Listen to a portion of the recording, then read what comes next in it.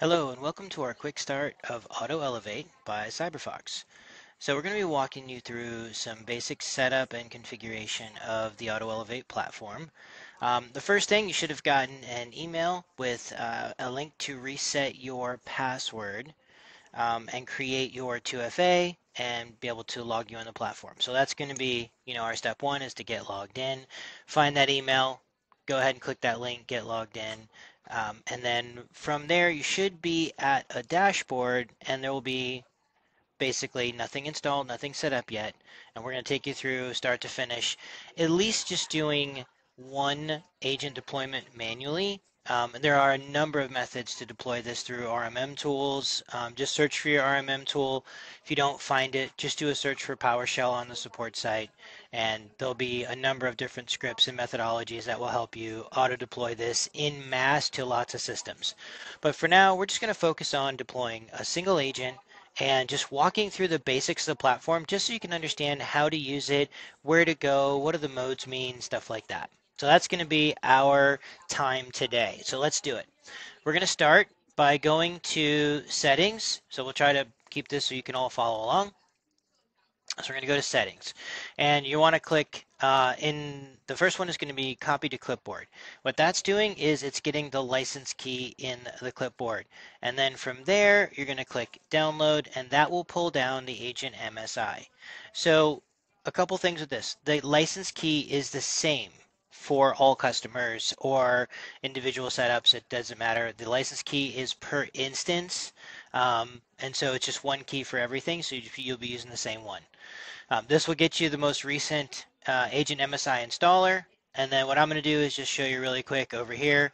When you run this installer, so if you're running this on a VM or if you're putting it on your own machine, basically this is what you're going to see when you do a manual install. So you're going to put the license key in that we copied to the clipboard fill in a company name, short initials, and then location can be whatever you want. It doesn't really matter. Um, it's essentially there uh, to group and organize machines where you may want to apply different rule sets to them. So it could actually be physical locations, or it could just be like uh, laptops, desktops, or um, you know engineers, sales, marketing, things like that. So it really doesn't matter how you decide that you want to use that. Um, if you are using an RMM tool, you can have it follow the company name and location setup if your RMM has that, using some variables and stuff inside uh, uh, some of the scripting.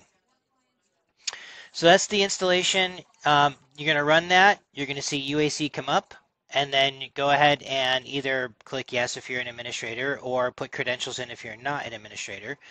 And then once that's done, you'll see a little swirl, blue swirl on your mouse wheel that lets you know the service started. And then it takes about 15 seconds, maybe 20 seconds to get started and then go ahead and check into the server. So once you see that, come back over here, go to the portal. We're going to go up to computers. And then you should see your company uh, whatever company you created in that uh, in the form with that location and then that system will be there okay and it should be little green status next to it um, if on some occasions uh, sometimes the agent is still pulling an inventory you can just click the refresh right here and that will get you the most recent data so a couple things to be aware of on this page. So this is the computer screen. You can sort and organize these uh, by simply just dragging things up into the header like that and dropping them. That will allow you to create your own unique data views of which you can save over here. I'll show you how to make some of those in a minute as well. So the key thing you're looking at here is this. You want to make sure that UAC is turned on. So the primary function of this is as an elevation tool is a UAC interrupt. So it interrupts UAC, allows us to control the process, and then when it's appropriate, we will go ahead and put the proper credentials and inputs and stuff into the UAC dialog when it's appropriate, right? And when things are approved. But in order for that to happen, it needs to be turned on. And we do see this a lot where um, the admin level may be uh, turned down or UAC itself, especially in some older software applications where they've told you to turn UAC off completely. Um, if UAC is off, there's nothing for us to intercept. So you want to make sure that is turned on. And a good setting is on and dimmed, level 3, level 4. You can also see who's logged in and you can see how they're logged in. So if this was your machine and you were the administrator, it'll say administrator there. Um, now, there is a feature called remove admin. Um, and that feature can allow us to do and help well it helps us to allows us to help you clean up the local administrators group. So if I were to hover over this you can see the members of the local admin group. Now right now this is just some Azure AD stuff. So if you do see something that looks similar to this uh, with the uh, SIDs in there that's just Azure. And then of course there's the built-in admin. We can't do anything with that. But what we could do is if this account, Bill Morgan, for example, was a member of this group as an active user, I could remove that account from the local admins group. So that way the next time they logged in, they would no longer be an admin. So it's just there to help you try to police and clean up the local administrators group. Now that is off by default because currently our agent automatically deploys in audit mode. So let's talk about some of the agent modes so that we know how to use them. So check the box in front of uh, the computer that you've deployed or any computer you may have deployed and just simply say actions. Just click there. You're going to get a list of items and things that you can do. So there's two areas that we're going to be focused on. The majority of the conversation today is going to be around elevation and then we'll talk a little bit about the blocking utility as well. So we're going to start with elevation. So we go, we're going to deploy an audit mode. Um, that audit mode is do no harm. So essentially that means um, we're just listening for UAC events. We're going to record those when they occur. That's all we're going to do. We're not going to make any changes to the system. We're not going to follow any rules. We're not going to do anything. So generally the way this is used and deployed um, is a pretty straightforward four-step process. Step one, right here, deploy the agent in audit mode. Step two, collect elevation events. So those elevation events can happen organically or they can happen if you force an event. So if you know what people are using privilege for, or you know you have applications that require privilege to update, think of things like uh, QuickBooks and Revit and AutoCAD and uh, UPS WorldShip and Bluebeam and Foxit and you know all these other Dentrix and a whole bunch of other applications, right? So if you already know about those, simply go to uh, put an agent on that machine, right click those applications, say run as administrator. When UAC presents, just say no. And what that does is allows us to capture the elevation events in our system. From there, you're going to build some elevation rules based off of the events that you were curating. And then, and you're not going to make a rule for everything, but obviously the key things that need elevation that we want to elevate automatically, we're going to make policies for those. And then from there, if as long as we're happy with the rule set we've got, from there we're going to go to generally to live mode. There are two sort of agent modes here that you could use the system in. Generally, most are going to use it in live mode. And live mode means runs any rules that are out there. So whatever rules you create, the system will abide and follow those. It'll do the elevations automatically. If there's no rule, then the system will send this uh, that request into the console as an elevation request. And you can answer that in real time, and then it will automatically disposition on the other end for you. Right? And there's some dialogues and, and things that will show you that come up during that process. Now, policy mode. This is a little different. When you need auto elevate to be quiet, um, think a good example would be like a kiosk. I don't want pop-ups and messages and all kinds of things in like a, you know, sort of a lockdown scenario. So policy mode will run and elevate anything that you've created a policy for. But if there's no rule for it, instead of sending in a request, we just simply exit. UAC will present itself exactly as it does today. It'll be like we weren't even there. So if there's a rule, it'll run it. Uh, so it'll do those elevations in the background, no problem. But if there's no rule, instead of sending a request, we're just going to exit and UAC will just present itself. Now down here, there's one other mode. Now this one right here is important. So this is how technicians can be technicians, right? Help desk staff, engineers, analysts, whatever the case might be. When I need someone on this machine to do technical work, I want to, uh, first and foremost, I want to turn off any of the policies we may have created because I may need to do things that maybe a policy wouldn't let me. But as an engineer, I can do that. This is designed to get around um, using the shared credentialed process. We know sharing credentials, sharing usernames, sharing passwords, copying passwords into our clipboards, things like that are not safe and secure methods of operating. Um, we do them because it's the easiest way to manage uh, a lot of systems, you know, with not a lot of staff. But it's not the best security practice. Doesn't matter what security framework you look at, it's not a good idea. This helps to eliminate that.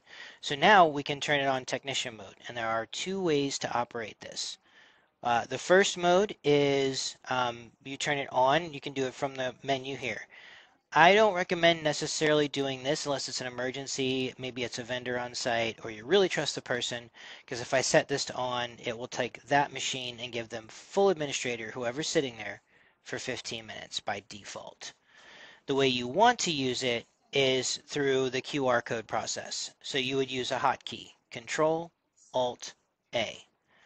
That hotkey will bring up a QR code. You're going to use our mobile app, which is Auto Elevate Notify. It's in the your respective app store.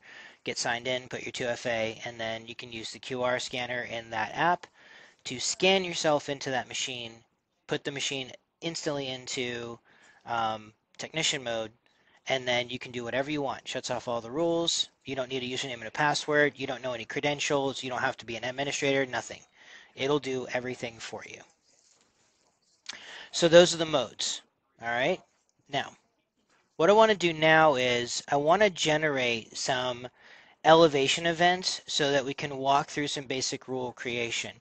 Now, while I have a bunch of rules in our system here, yours is currently probably empty. So let's go ahead and do this. So we're going to go over to our, our machine here that we have our agent on.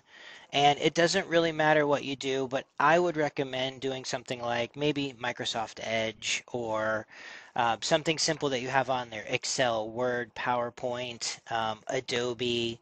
Or if you have applications that you want to make rules for, like QuickBooks or Foxit or something like that, by all means, right click, run as administrator. So even if I go here, I can right click on this, run this as an administrator, UAC will present itself and I'm simply just going to say no.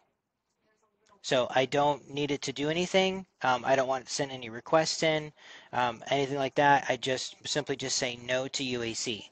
And what that does is forces the agent to wake up and check in.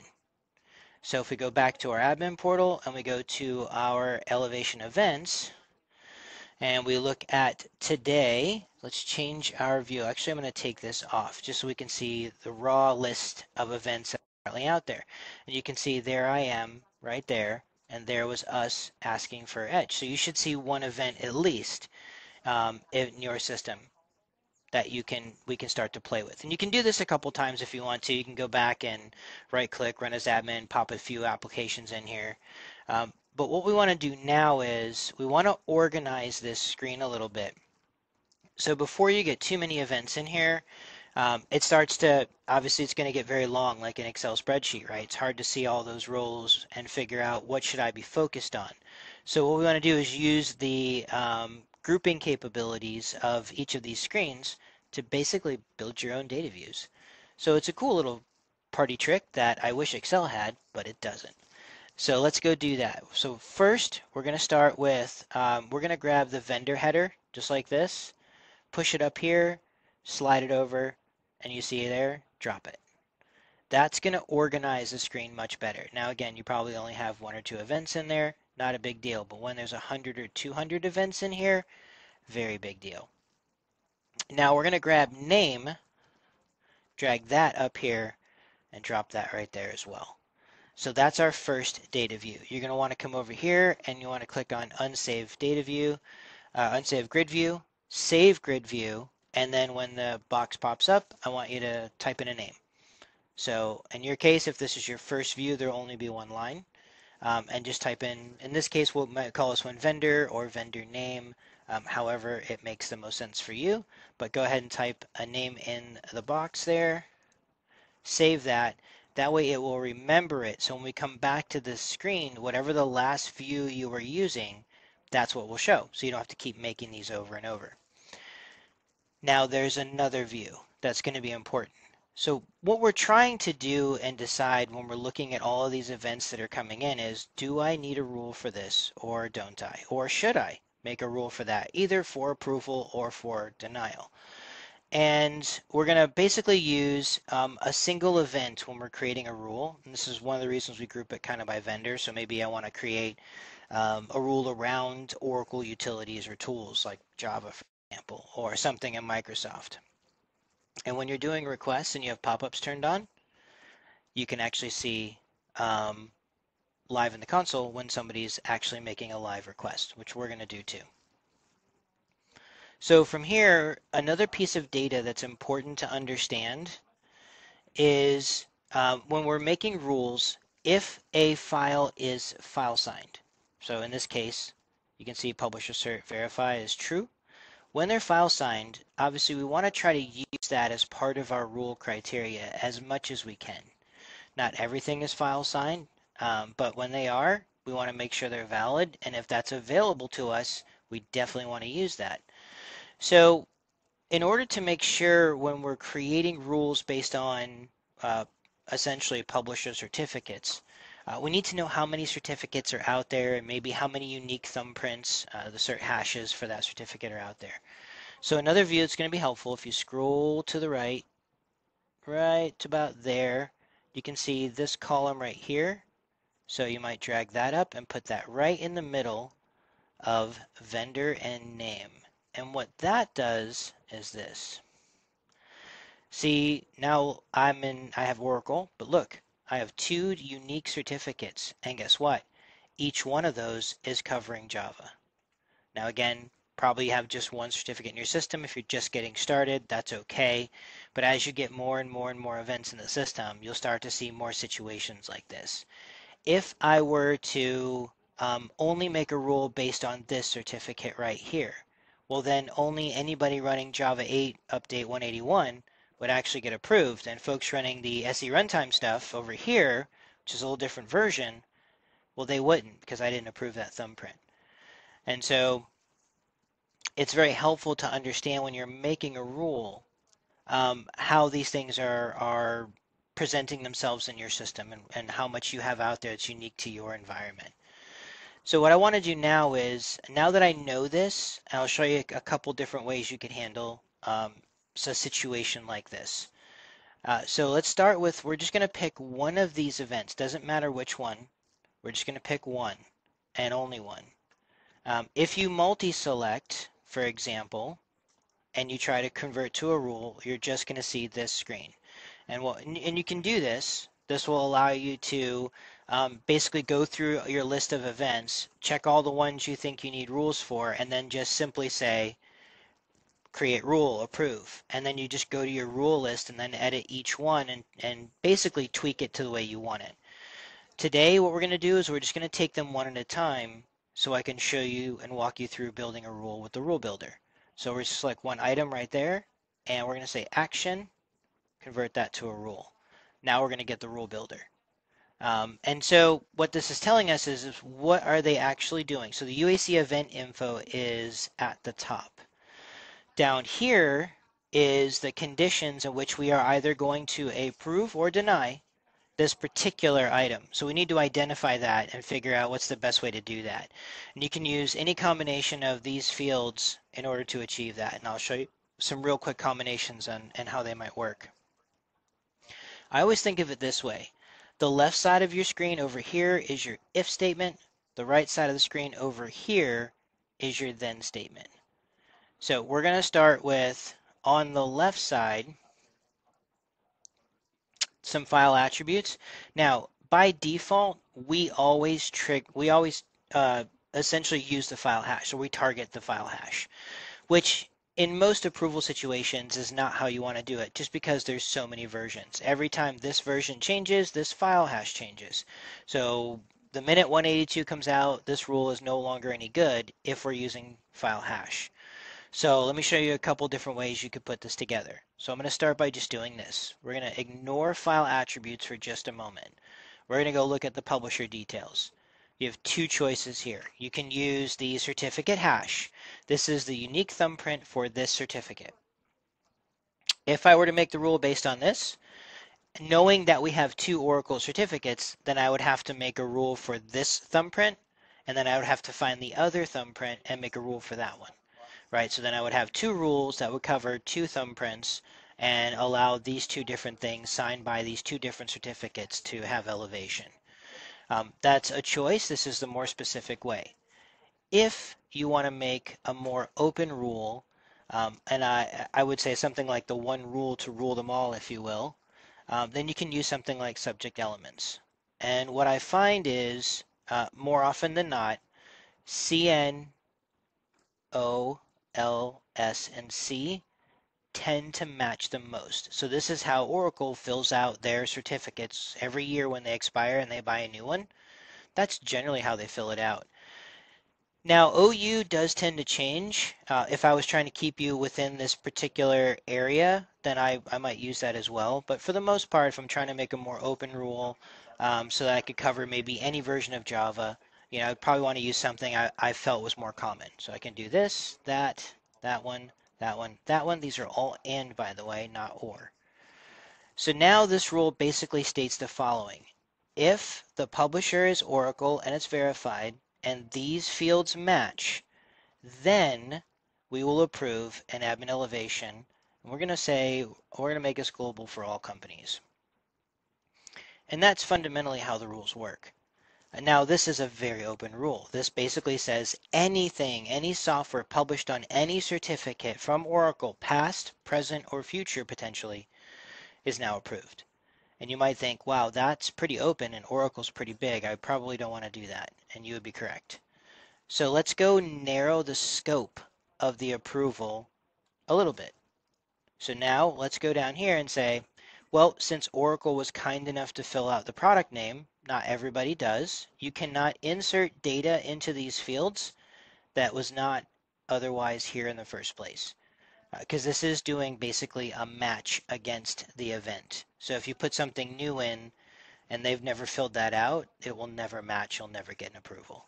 But you can use wildcards and regular expressions. So for example, I don't necessarily care about which version of Java that they're using. I just want to let them do any updates. So we could do something like this. We put a little asterisk there. And now we just went from approving anything from Oracle on any certificate to any certificate, but it's got to be the Java platform. Right? And we notice there's different setup files and file names. Um, and so we don't necessarily need to, I don't necessarily in this case want to mess with that because there can be different file names with different versions in it. And what I really just care about is as long as it's the Java platform, I'm okay with that. And then so now it'll match if the product is the Java platform, regardless of whatever version might come behind it, and the publisher is Oracle, it's verified, and the subject elements match, or if you're doing cert hash, the cert hash matches, then we will approve an admin elevation. Now you can approve or deny, and then over here, there's two different types of elevations. Um, the first one is admin. So think of this as like an over-the-shoulder admin. Like if you were to log into somebody's computer and type your credentials, that's basically kind of what we're emulating. The other one is a user elevation. Now admin's going to work probably nine times out of 10. User elevation is about when we have to pass admin in context certain applications that are installed like in a profile like Revit and sometimes Dentrix and things like that. Um, I need to be, I need the user to be the administrator. Um, and in that situation, then I would do a user elevation. Or if I'm doing like UNC file pass in a domain or uh, map drives or something like that, um, or context is important like the registry, then I might do a user elevation. Otherwise, everything else is probably going to come out to be admin. And if you have any questions, there's a little link right there. Just click the article and you can read a little bit more about it. Um, our level, you know, we're going to try as much as possible to apply things globally. That way we don't have to continually make um, more rules than we might necessarily need for ourselves. So for example, Java, maybe half half the folks use it and half the folks don't. But it doesn't really matter if I apply this as a global rule. If you're using it, it'll work for you. If you're not using it, you don't know about it, probably doesn't much matter. Um, as long as it's verified, even if they did install it, it really wouldn't matter. So we try to look at it a little bit like that. So otherwise, if you have, um, you know, if you try to set up the same rule for three different groups and you have 10 different ways of organizing things potentially, um, you know, you might recreate the same rule over and over again, and it's just more administration for you.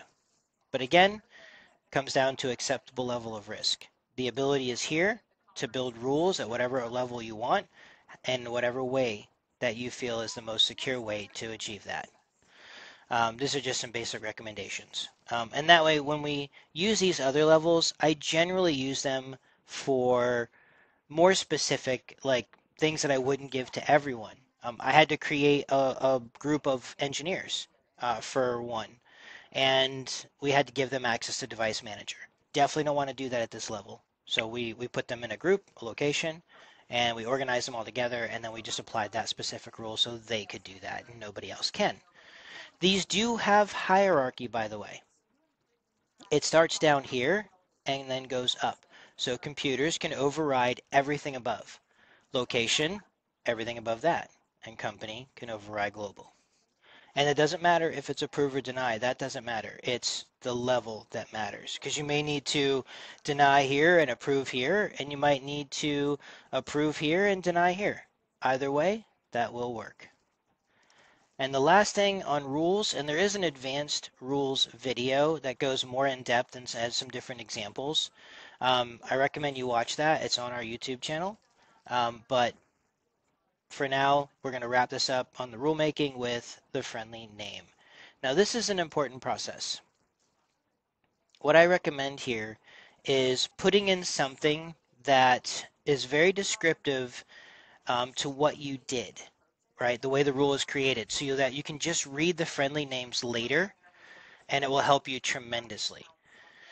So now, in this case, you can kind of see here, um, uh, you know, we can say I approved uh, Oracle's Java using the publisher cert, um, and we'll say in this case, subject, right? And I put the year that this cert happens to expire, which you can see if you go right there.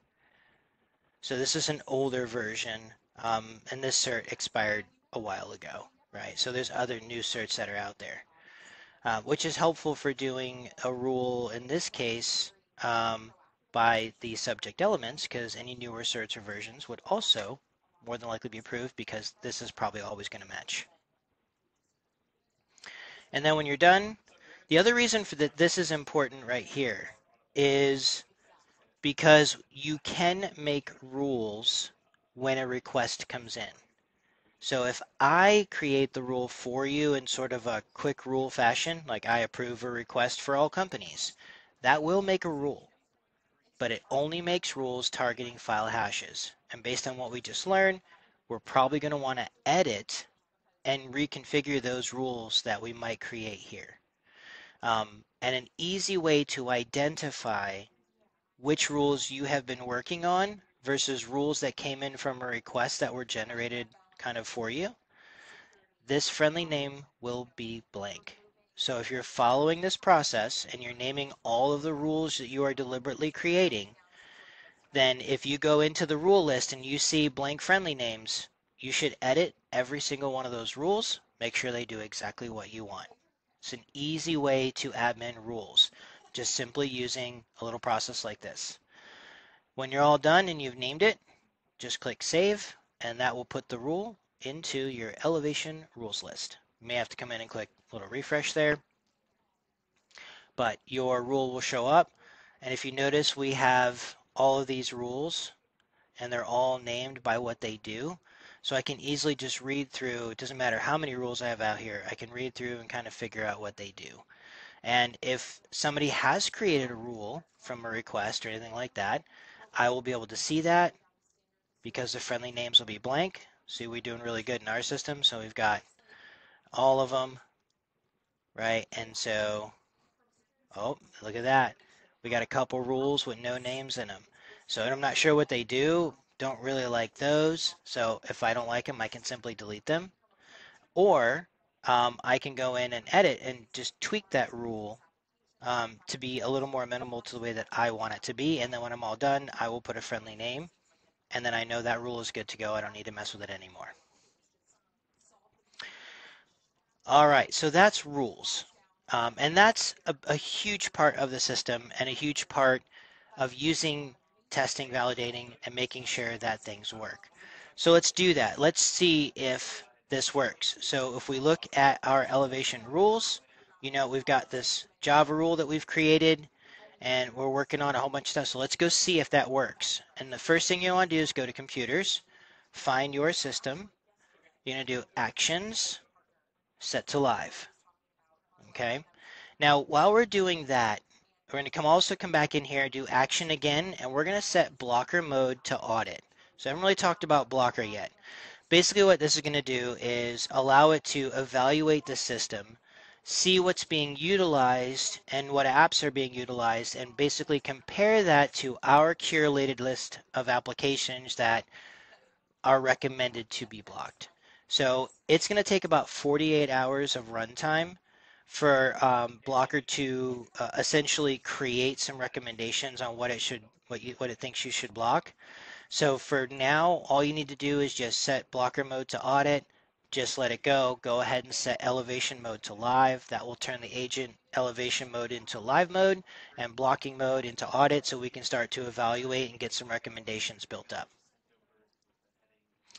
Now let's go check our rules. So once you do that, um, an easy way to get your agent to check in while you're testing, because nobody wants to sit and wait 10 minutes for the agent to check in, um, is just trigger a UAC event. Doesn't really matter what you do. You can simply just right click, find an application, run it as administrator. When it UAC presents itself, you can simply click no.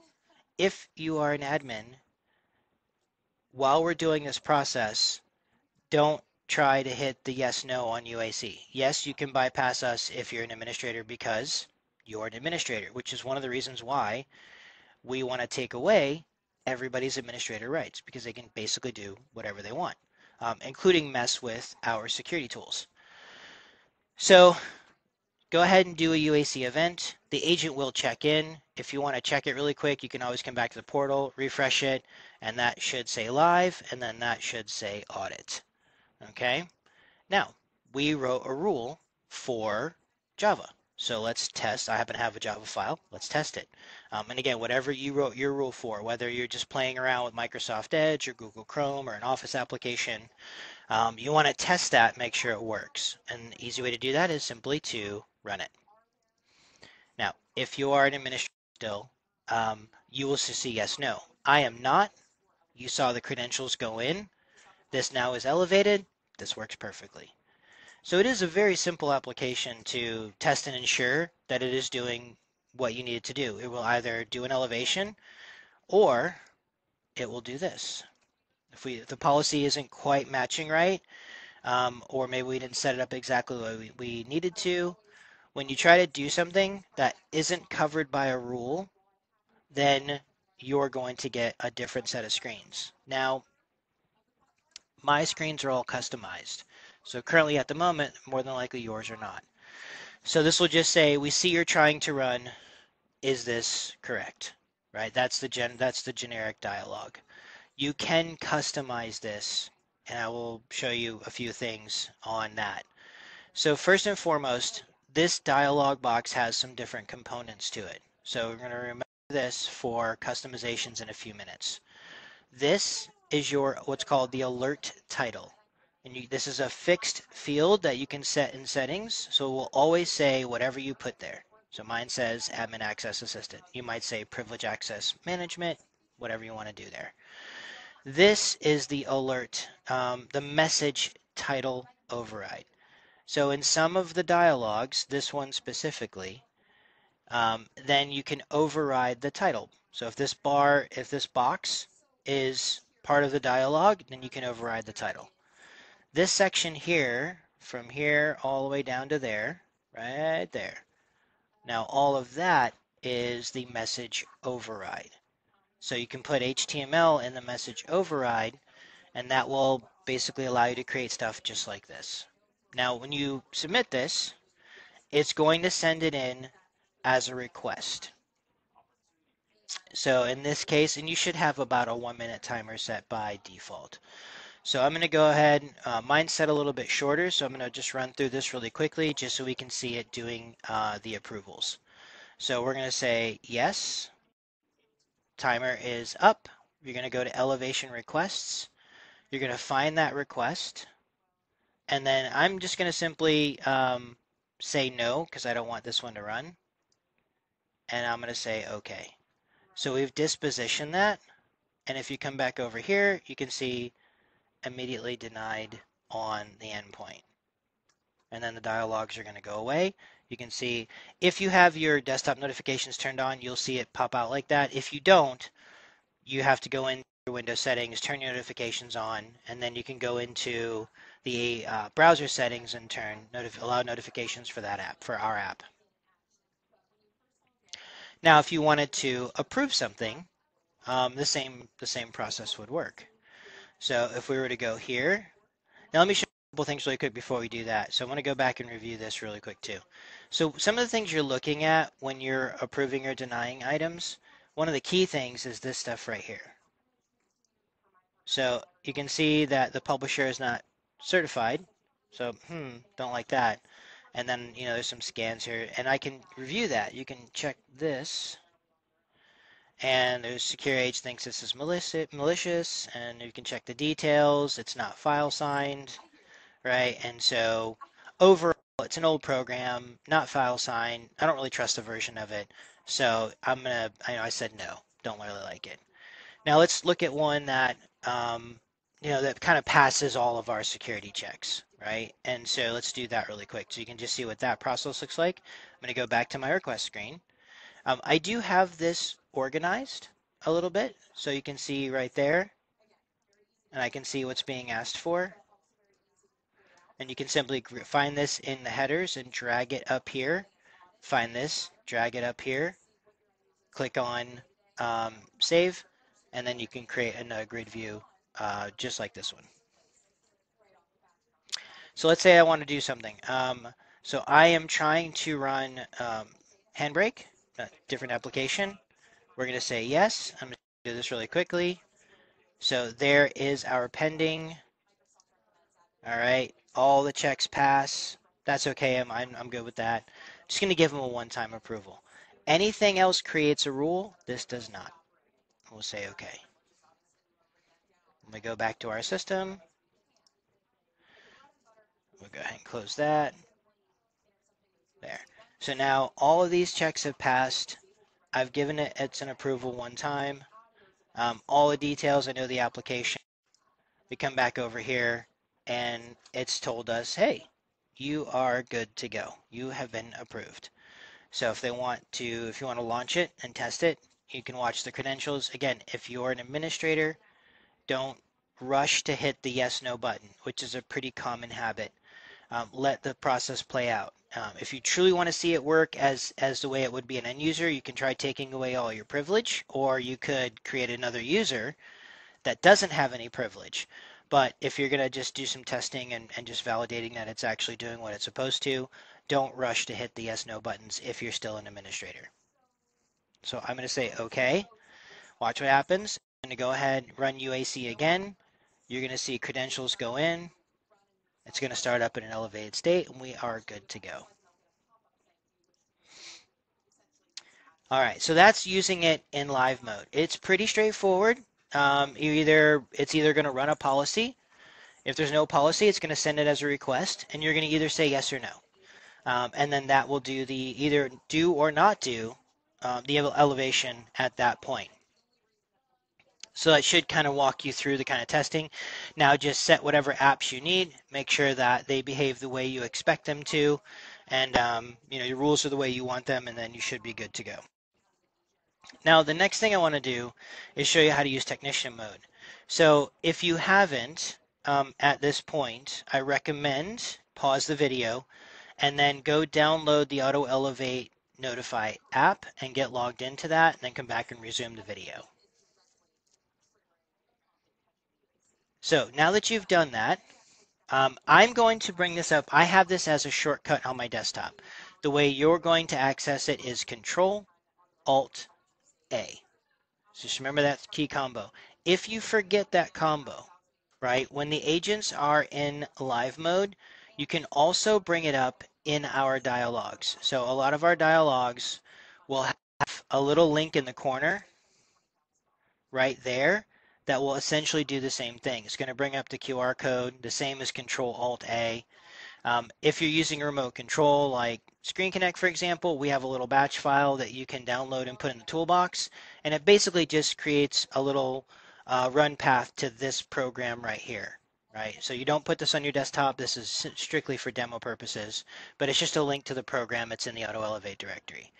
Um, and a lot of remote control tools have that ability. We'll either accept the Control Alt A key command, or you know you can make a little shortcut to it. So we're going to bring up the QR code. We are going to put the agent in technician mode. So this is how a technician would use AutoElevate. You can basically um, manage and administer any computer without an administrator account, without you being an administrator, and just having your cell phone. So I'm opening up my AutoElevate app. If you're iOS, it's top left is the scanner, and I think Android's top right. So we're going to scan this. There we go. We've scanned in. The agent immediately turns itself into technician mode. And now you're going to see it's going to behave a little differently. So when I want to do something, I can just do it. And then UAC is going to look a little different.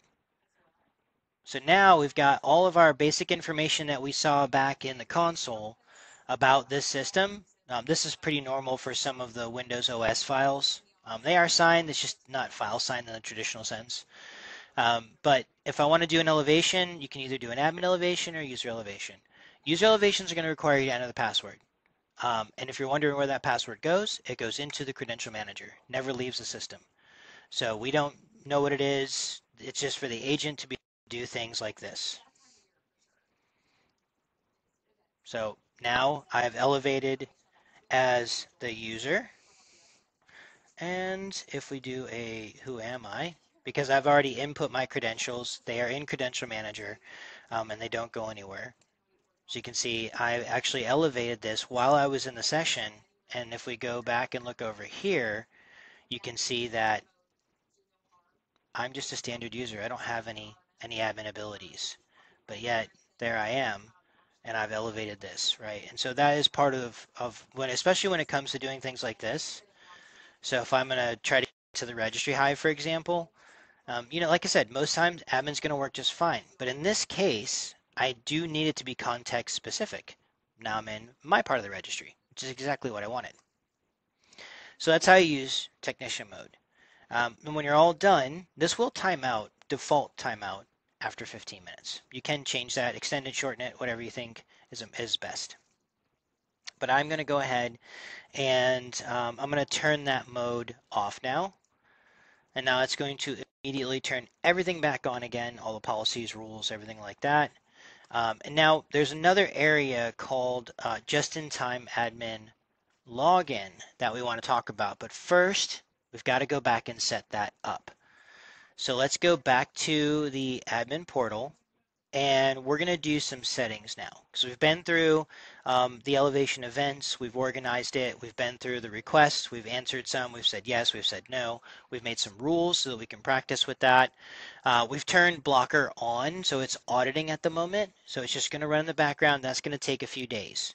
Um, and then it will make some recommendations. So when it is done, it will recommend, just like this, and then you can choose to add those blocking rules.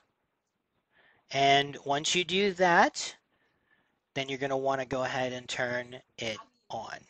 And then you would switch right here, set blocker to live, and now it will follow those rules. Um, so it's a very simple tool to use. It is not very complex. It's just there as a proactive security measure to block some of the tools and utilities that are known threat vectors for um, a lot of different types of attacks. Um, and it's going to help to block those. Uh, but that's going to take a couple days, so just let it run. Now, let's go down to settings. Okay, so we're going to scroll down just a little bit. This is the multi-level settings screen. Now, here is your global settings. So these settings apply to everyone and everything in the system.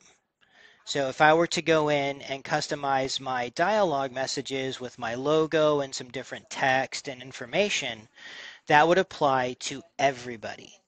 But what if I needed to make custom dialogues maybe just for one group of people, right?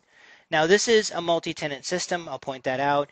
This is used both in internal IT and in the managed services space. So it doesn't really matter.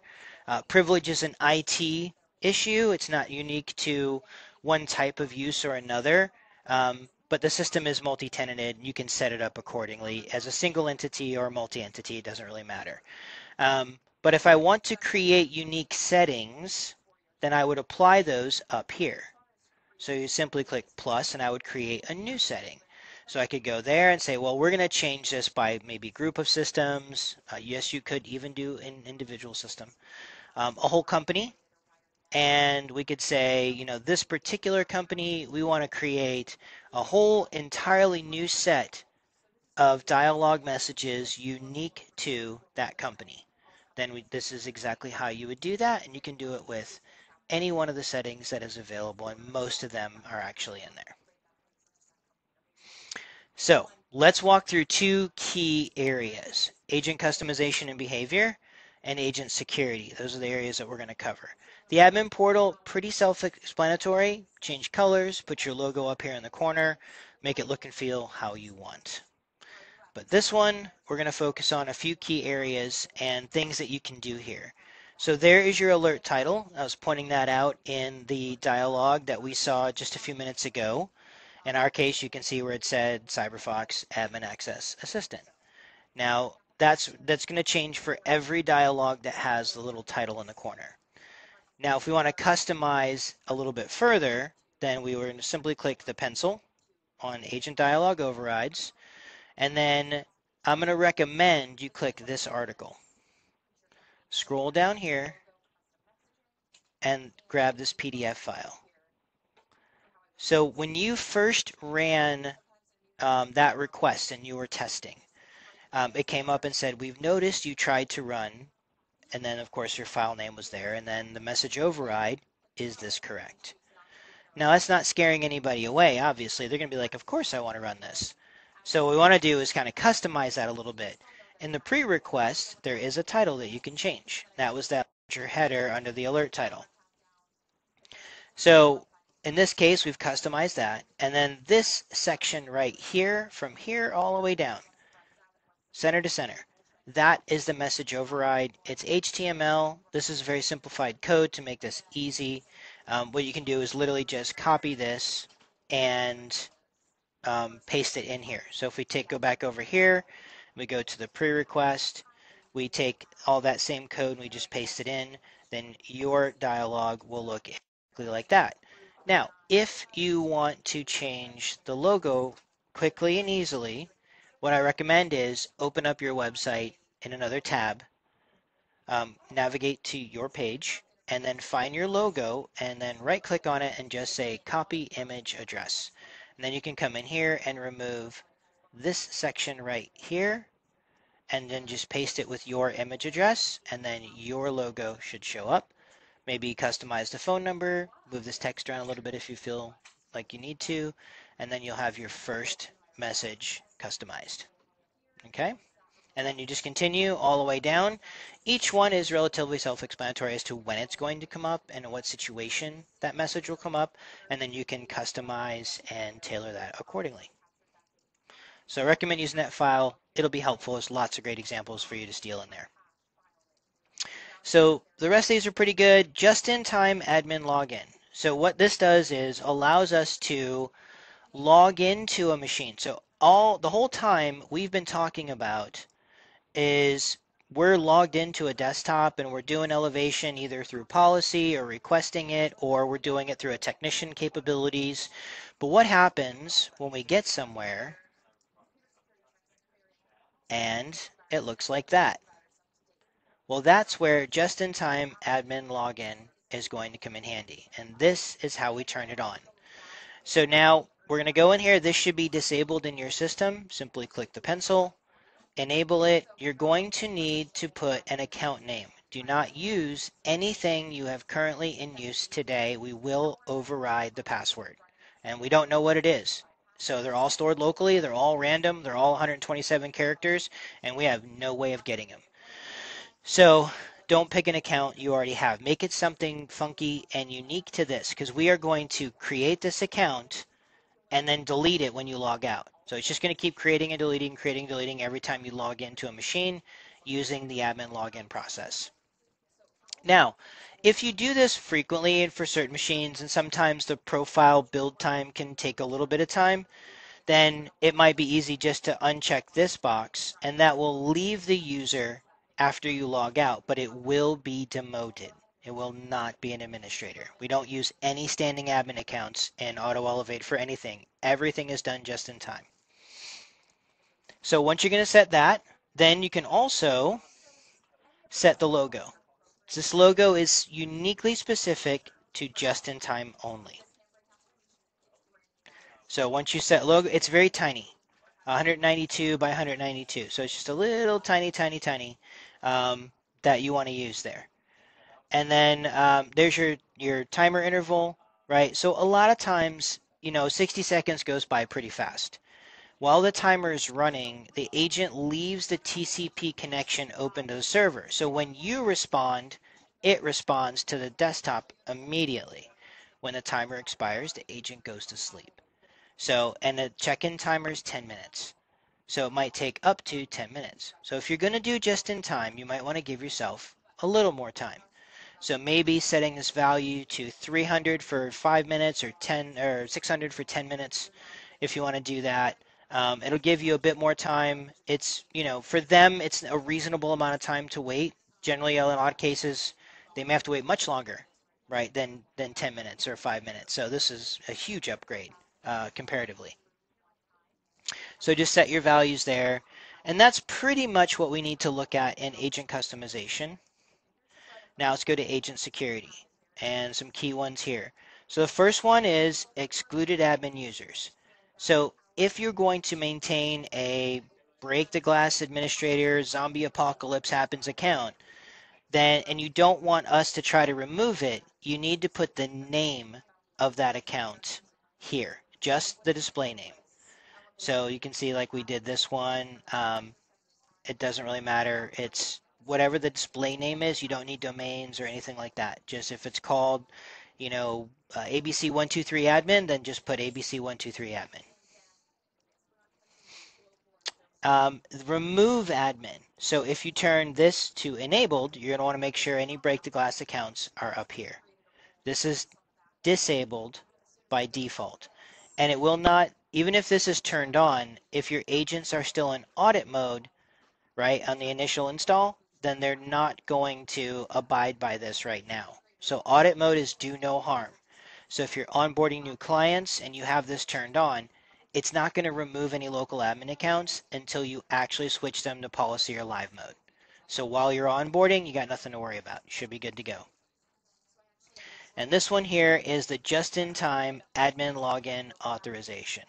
So who, because you can specifically control the permissions on this, who's allowed to do the administrator login, aka when we go over here and we want to actually just log in, right?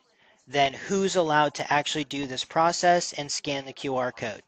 Um, and so you want to set this first. If you don't, then nobody's allowed to use it by default. So when you try to scan the QR code, it won't work.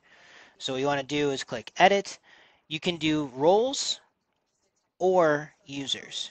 You don't need to do both. So if you pick admins and you're in the admin group, you don't need to add your name there as well. Just simply pick a role. Now, if there is an individual person that I want to allow who isn't a member of one of these, I can add them as an authorized user. Think maybe a co-managed situation, right? So once those are set, Again, you're going to want to let the agent check in so that we can install the credential provider. Um, so give it 10 minutes for the agent to check in, or you can, again, you can go in here and trigger a UAC event that will force the agent to check in, install the credential provider, and then once they do that, you can lock that computer. You should see this will always be at the bottom. And you're simply going to click there, click that, and then you will take your cell phone with your AutoElevate app and use the QR scanner and scan that. It will build you an administrator account that you set in the settings and it will automatically log you in.